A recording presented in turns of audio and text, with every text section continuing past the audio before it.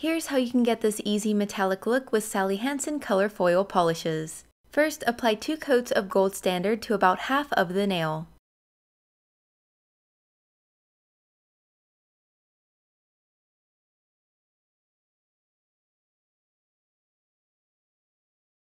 Then take Steal a Kiss and a dotting tool to add a single dot near the cuticle. For the best foil effect, be sure to skip the top coat. And that's it for this fun foil look.